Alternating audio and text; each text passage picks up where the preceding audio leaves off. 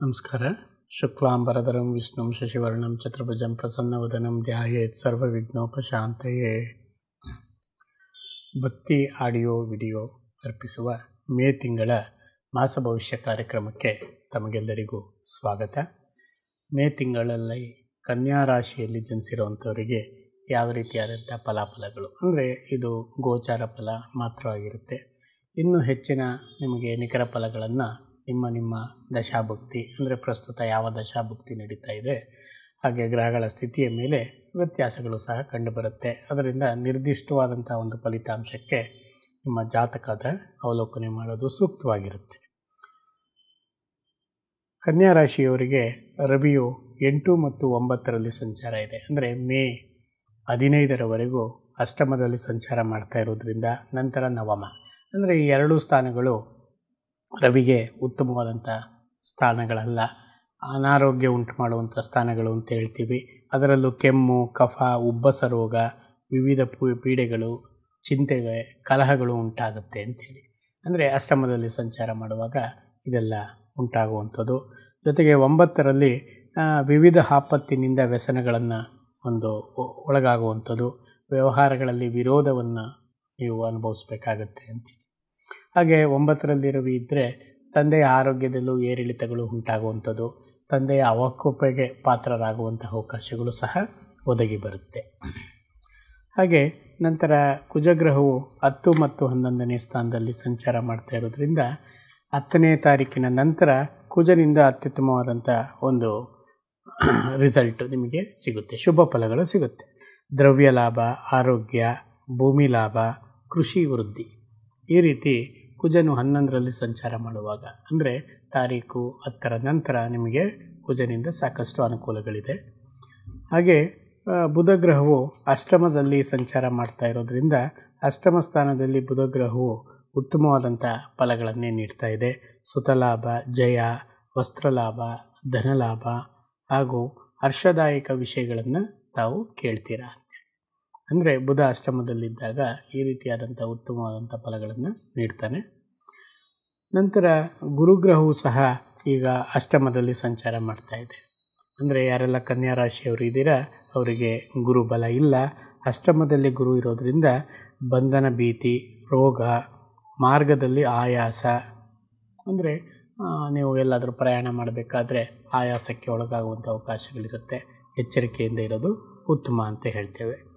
ಹಾಗೆ ಶುಕ್ರ ಗ್ರಹವು ಹತ್ತರಲ್ಲಿ ಸಂಚಾರ ಮಾಡ್ತಾ ಇರೋದು ಶುಭದಾಯಕವಾದಂಥದ್ದು ಅಂತ ಅಂಶವೇನಲ್ಲ. ಯಾಕಂದರೆ ಹವಾಮಾನಗಳು, ಕಲಹಗಳು ಸಂಭವಿಸುತ್ತೆ ಅಂತೇಳಿ. ಅಂದರೆ ಕೆಲವೊಂದು ವಿಷಯಗಳಲ್ಲಿ ನೀವು ಹವಮಾ ಹವಾಮಾನಗಳನ್ನು ಅನುಭವಿಸ್ಬೇಕಾಗತ್ತೆ, ಕಲಹಗಳನ್ನು ಉಂಟಾಗುವಂತೆ. ಅದರಿಂದ ಮಿತಿಭಾಷೆಯಾಗಿರ್ತಕ್ಕಂಥದ್ದು ಶುಭ ಅಂತ ಹೇಳ್ತಾರೆ. ಅಂದರೆ ಆದಷ್ಟು ಮಾತಿನಲ್ಲಿ ಎಚ್ಚರಿಕೆ ಇರಿ ಅಂತ ಹೇಳ್ತಾರೆ.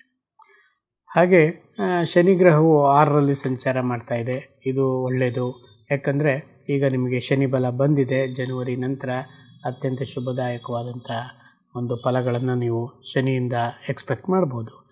ಯಾಕಂದರೆ, ಚತುರ್ಥ ಶನಿ, ಪಂಚಮ ಶನಿಗಳಿಂದ ನೀವು ಏನು ತೊಂದರೆ ಅನುಭವಿಸಿದ್ರಿ, ಅದರೆಲ್ಲ ಆ ತೊಂದರೆಗಳೆಲ್ಲ ಕಳೆಯುತ್ತೆ. ಶತ್ರು ಪೀಡಾ ನಿವೃತ್ತಿ. ಅಂದರೆ ನಿಮಗೆ ಯಾರೆಲ್ಲ ಶತ್ರುಗಳಿಂದ ತೊಂದರೆ ಅನುಭವಿಸಿರ್ತೀರಾ, ಅವರಿಂದ ನಿವೃತ್ತಿ ಸಿಗುತ್ತೆ.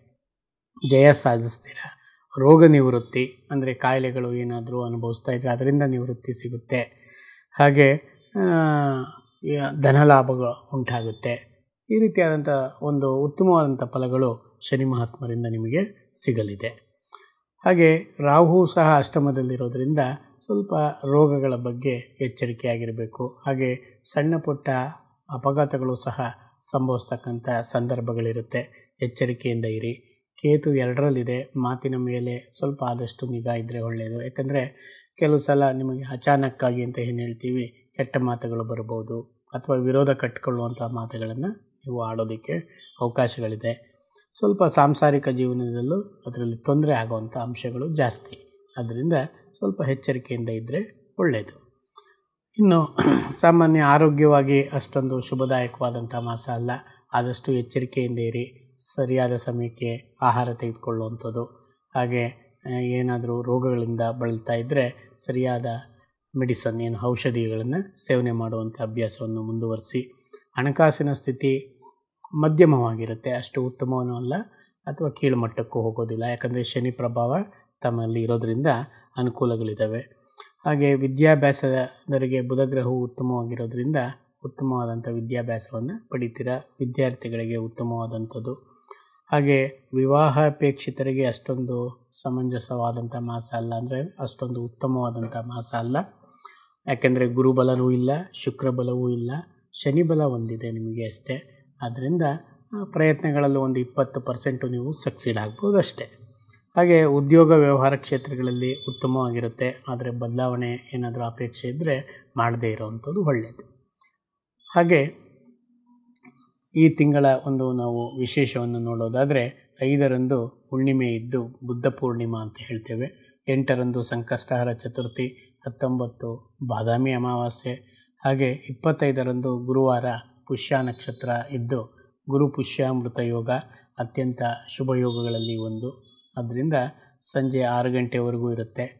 ಮಾಡ್ತಾ, ಆ ಒಂದು ಸಮಯದೊಳಗೆ ನೀವು ಮಾಡ್ತಕ್ಕಂಥ ಕಾರ್ಯಗಳಲ್ಲಿ ಯಶಸ್ಸನ್ನು ಪಡೀಲಿಕ್ಕೆ ಅವಕಾಶಗಳಿದ್ದಾವೆ. ಹಾಗೆ ಯಾರೆಲ್ಲ ಕನ್ಯಾ ರಾಶಿಯಲ್ಲಿ ಉತ್ತರ ಎರಡು, ಮೂರು, ನಾಲ್ಕನೇ ಪಾದದಲ್ಲಿ ಜನಿಸಿದ್ದೀರಾ ಅವರಿಗೆ ಉತ್ತಮವಾದಂಥ ದಿನಗಳಂದರೆ ಮೂರು, ಎಂಟು, ಹದಿನಾರು, ಹದಿನಾಲ್ಕು, ಇಪ್ಪತ್ತಾರು, ಮೂವತ್ತು, ಏಳು ಮತ್ತು ಇಪ್ಪತ್ತೈದನೇ ದಿನಾಂಕಗಳು.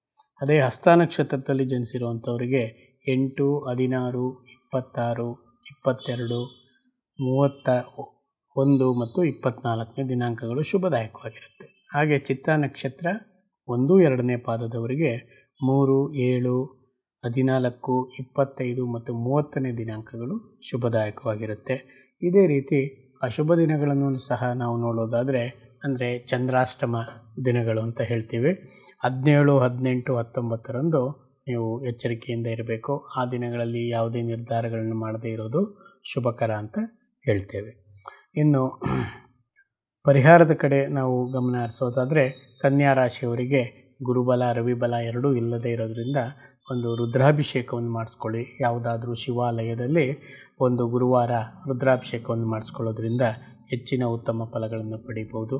ಜೊತೆಗೆ ಕುಜನ ಒಂದು ಅನುಗ್ರಹಕ್ಕೆ ಪಾತ್ರರಾಗಲು ಒಂದು ಪಂಚಾಮೃತ ಅಭಿಷೇಕ ಸುಬ್ರಹ್ಮಣ್ಯರಿಗೆ ಮಾಡಿಸ್ಕೊಳ್ಳೋದು ಉತ್ತಮ.